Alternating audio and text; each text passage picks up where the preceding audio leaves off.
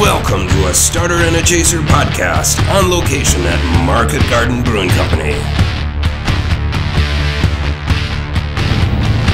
So cow farts created a methane gas, which in turn killed all the Martians.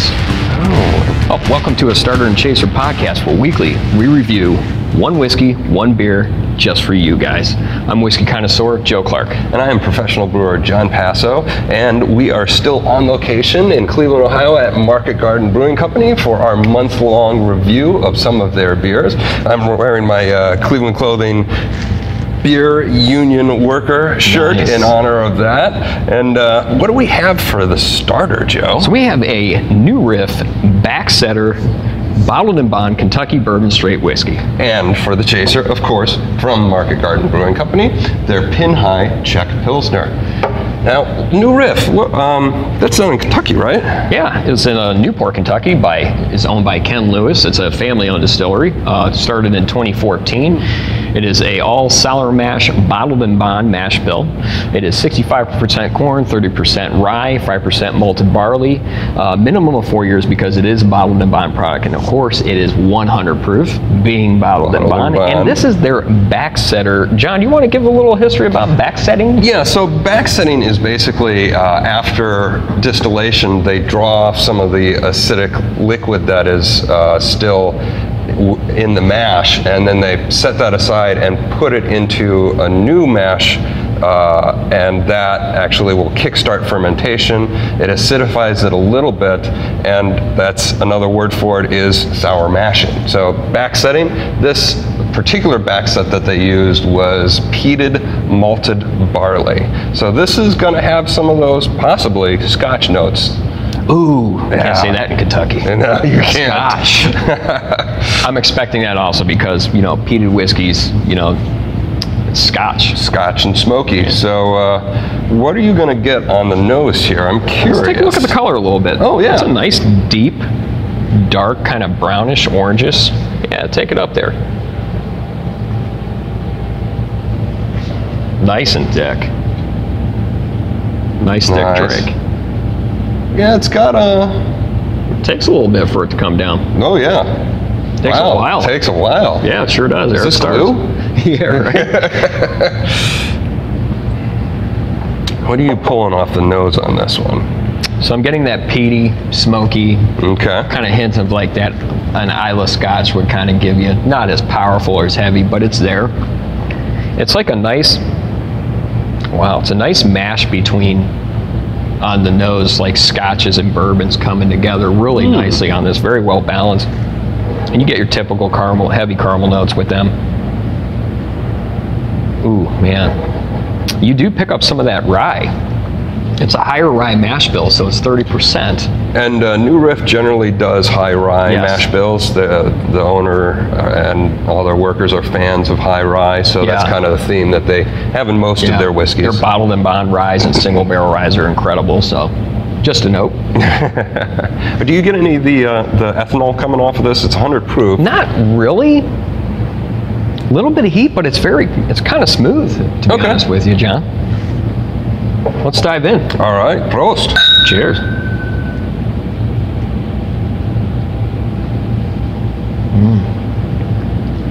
Mm.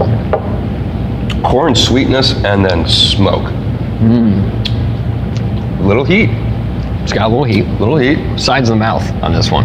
At first, it was center of the tongue for me, and then quickly moved to the Yeah, sides. yeah, yeah. Doesn't Kentucky hug you? It kind of fades away. I'm going to take another hit to get kind of warm my palate back up to this.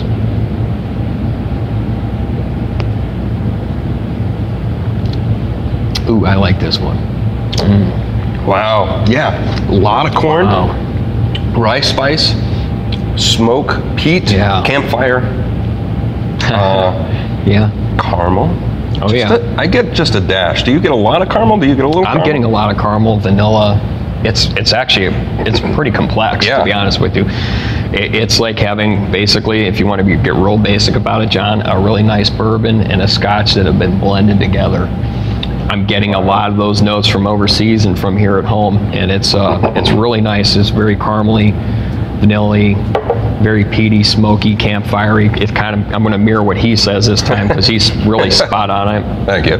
It's it's a thick drink. It, it's kind of heavy in the mouth. A little bit of heat. It does go to the side of the tongue. Does not carry down through your chest at all. It's very easy to drink at 100 proof. Um, I am really enjoying the rye spices. To me, is what lingers on the back, and I'm, it kind of turns into a nice rye whiskey for me. I'm, I do get, a, like Joe says, a little bit of the rye on the back end, but now for me, the predominant uh, finish flavor is uh, brown sugar. I'm getting a lot of like raw brown sugar on the finish. Okay. Um, there is just a slight barrel char Yeah. to the finish as well. It's very subtle. Uh, wow, this is this is This is good. really complex and really good. And the cool part is this was a uh, this was a distiller exclusive, uh, so you had to reserve your bottle and go down Yep. and pick it up. So it was, uh, we were very lucky to have uh, have this one in our possession. And this bottle was also donated, Donated to us by by uh, Stephen. Crooks. Uh, thank you. This is another fantastic drink. Um, Mm-hmm. I know you were kind of mixed on this one, and for me, it's right up my alley. Yeah. I love Scotch, I love bourbon, and it's like two of them married into one bottle. Absolutely. All about it. And if you have a bottle you'd like to donate, shoot us an email at whiskeyandbeer at starterandchaser.com. And if you'd like to support the podcast, be sure to visit us at patreon.com backslash starter and chaser. Well, this was the starter. We're going to take a quick break and be right back with the chaser. Welcome back to the Starter and Chaser podcast, and we're now back for The Chaser. And for the Chaser, we have, of course, from Market Garden Brewing Company, their Pin High Czech Style Pilsner. Now, um, Market Garden, this is our whole month long review of some of their products on location. Market Garden Brewery was started back in 2011 by four separate people, including master brewer Andy Tveekrem, who once worked for Cleveland, uh, Cleveland's own Great Lakes Brewing Company and Milton, Delaware's Dogfish Head Brewing Company before he came and started Market Garden. Now, the Pin High was done in collaboration with the Cleveland Metro Parks, and part of the proceeds of the sales of this beer go back to the Cleveland Metro Parks. It's a Czech style Pilsner, which you haven't had. You've had most of the Bohemian styles, Yeah. so it'll be a new experience for Joe. It's 4.8% ABV and 36 IBUs. I wanted to point something out real quick while Yeah. Jon is posting this. I mean, how cool is this scenery behind us, guys? I mean, look at this. This is so cool and how nicely it's laid out, how beautiful the construction is here. It's a really, really nice facility. When you can and when it is open for tours again, you got to come down and check this out. It's it's excellent here, guys, and the service is second to none. Absolutely. Thanks. Shout out to Liz for uh, Yes. helping us get set up here today uh, at the brewery. So uh, beautiful head on this.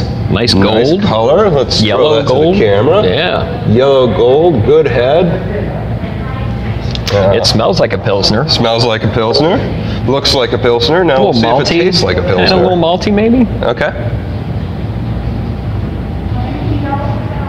This is kind of giving me that little bit of the grassy note to it too. I'm, I'm kind of like associating that with maybe pilsners. I'm, I'm I don't know if I'm not finding correctly in words what I'm really getting on the nose. Uh, it could just be the types of hops that you're picking Yeah. up that are Okay. typically used in pilsners. I know. Might lend that grassy note that you're you're getting. I know some of these lighter beers aren't like super complex on the nose in general because of the way they're crafted correctly. Yeah, yeah. But on the palate, that's where things change. So, what do you think? Mm-hmm. I think we should time. dive in. Dive in. Prost. Damn, dude. Another Mm. one. Wow. Yeah. Crisp Pilsner.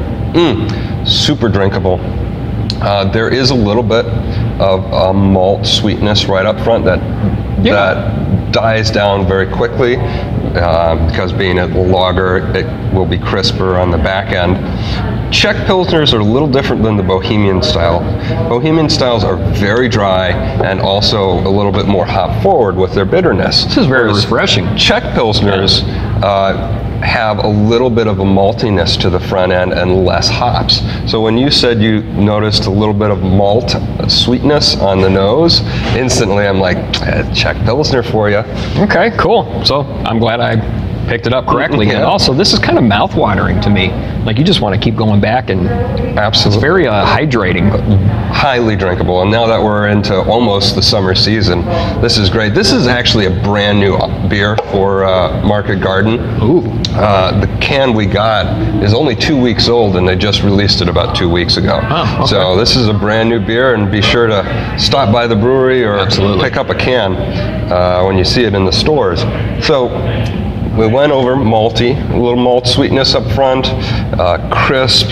Are you picking up any hops? you picking up any of the grassy note that you were picking up on Yes, I do. I actually picked that up more on the back end, kind of a nice earthy note to it, grassy note. Um, I get the grass straight through for me. I get uh, the hop bitterness to it. Um, Mm-hmm. but which it's nice. No, it's very subtle. It's very Well-balanced. Mm-hmm. well balanced. Yeah, very well balanced. It's not, you know, even if you're not into the, like the bittery hops and stuff like that, this isn't Yeah. powerful on that. It's very easy to drink. It's very mouth watering. It's got a nice kind of hue to it. I like the way it looks.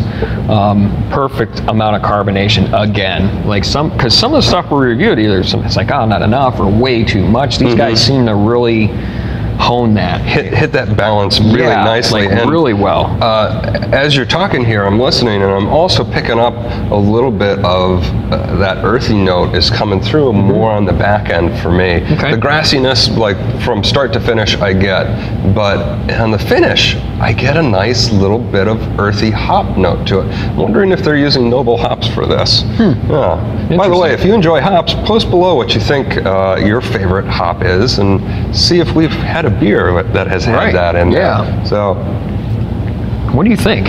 Very cool drinks we've had today. Very cool drinks. again. Yeah, and I'm, I'm loving that we, we continue the tradition rolling of good beers. I mean, So we're at Market Garden. things, man? Those um, those are uh, either one of their boil kettles or their mash tuns. This is where the uh, the wort that eventually gets fermented and turns into beer is created. Mm. So and uh, nice stainless steel tanks. They use stainless steel because it's easily cleaned uh, and uh, doesn't hold a lot of bacteria or anything like that, or any in theory. It looks very cool. Now, New Riff. What were your final thoughts on New Riff? I love it. Absolutely love it. If you can get your hands on one of these bad boys right here, if you like scotch and bourbon, this is where it's at. If, if you're like like some guys maybe not be really into it, like Stefan doesn't like peaty stuff and stuff like that. I remember him Stefan, who donated the bottle. donated the bottle. Um, but for me, he, he messaged me and he goes, "This is up. I know this is up your alley," and he's 100% correct. I love scotch. I love bourbon. I can't not love that. For me, I'm starting to get into the peaty stuff like our Ardbegs and uh, Islays scotches. so the fact that this has got that really signature Kentucky bourbon note to it mm-hmm. and the peatiness, smokiness on top of it, I mean, it's a win-win combo. And when I sip that, man, it is like sitting next to a campfire out in the woods. It is just transports you and it's awesome when a liquid can do that. So I, I yeah, I'm gonna say what Joe said. If you can find a bottle of this, go for it. Great job, New Riff. And if you're a rye fan, you get that rye spice on that too. So that's another point I wanted to make real quick. Absolutely. And if you're a whiskey fan, you get a whiskey note on there too. So Market Garden Pin High Czech Pilsner. What are your final thoughts on that, Joe? Very well crafted, very well balanced. Um, I love how these guys kind of keep getting that carbonation just perfect on their beers because sometimes it can be overpowering. Um, it's very smooth, very easy to drink. Uh, it's a nice light beer for summertime. This is my first introduction into Market Garden beers in general, or no, this is my second introduction. second introduction. Um, we're trying some new stuff with them. Um, it's fantastic. It really is. I, I would. This is another daily drinker. Yeah, it's uh, they are just crushing it with very well balanced, very drinkable beers, and they do a lot of different styles. These are just uh, some of the lighter ones that we're starting the series off with, and we're going to get into some of their barrel aged ones. So be sure to stay tuned. But Yeah. this is just an amazing two style Czech pills. Uh, drinkable, carbonation, like Joe said, is great. Perfect. Great mouthfeel. Yeah. Uh, summer Mouth season, watering. man, I'm going to be crushing six packs of these left and right. Yeah, absolutely. So that is this week's on location episode. Uh, in conjunction with Market Garden Brewing Company. Be sure to hit subscribe, uh, send Can't us a watch message. us? Need to listen to us? Links down below. Links down below. And uh, we will check you out next week and hope you guys check us out for another episode of a Starter and a Chaser podcast. So now back to this cowspiracy of them, the methane gas killing all the Martians. Do you think that's what they're doing here on Earth? Could be true. Should we beware the Ides of Mu? Maybe that's why we're wearing the mask now. That's why. Methane, not the COVID. it is a cowspiracy.